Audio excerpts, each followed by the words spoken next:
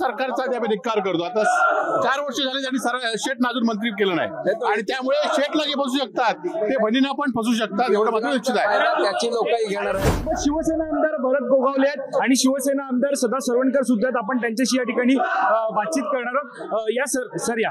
Sir आता इकडे आंदोलन करताना पाहायला मिळतंय. किस्सा खुर्ची का उद्धव ठाकरेंवरती थेट टीका होताना पाहायला मिळते काय सांगा वस्तुस्थिती आम्ही दाखवलेली आहे. जी वस्तुस्थिती दाखवणार जो शिवसैनिक होत नाही.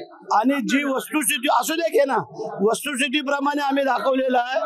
आणि ते जनतेला पटलेला घे तू.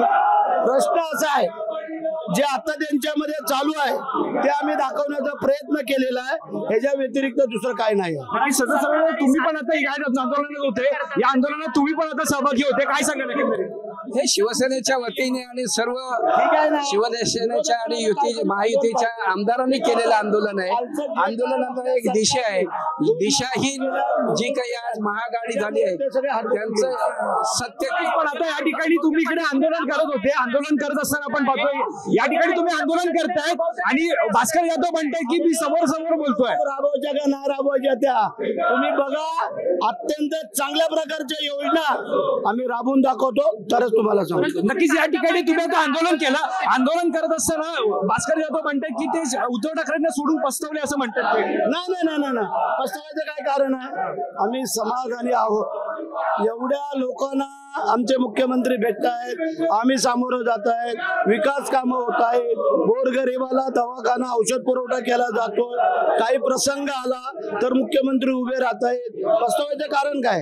आम्ही पस्तावलेलो नाही आम्ही समाधानी आहोत आणि नवीन योजनामुळे ते आता पस्तावतील हे तुम्हाला. नवीन योजना शरद पवार म्हणतात की खिशात सत्तर रुपयात आणि शंभर रुपयाचा खर्च म्हणतात. अरे त्याला पत लागते.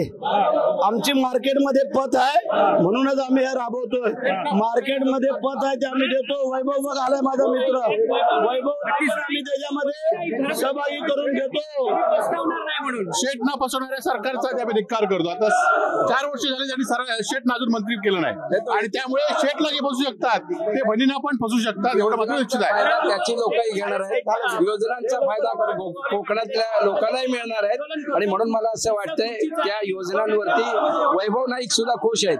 दोघे जण योजनांचा म्हणत आहात परंतु एकंदरीत पाहतोय की जर सरकारवरती या महाराष्ट्रावरती कर्ज असताना योजना काढून आणखी किती कर्ज वाढवणार असं सुद्धा आरोप विरोधकांचा आहे. अरे जर ज्याच्या मनगटात हिंमत आहे तोच हे करू शकतो. ज्याच्या मनगटात हिंमत नाही तो हे करू शकणार नाही आहे आमच्या मनगटात हिंमत आहे महायुतीच्या. आम्ही करून दाखवू.